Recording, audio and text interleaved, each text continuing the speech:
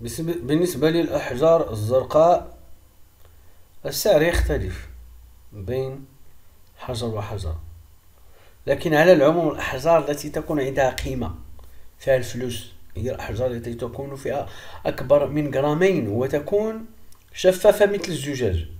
فيا عزيزي المشاهد إذا وجدت حجرا في هذه الشروط فتواصل معي بأقصى سرعة.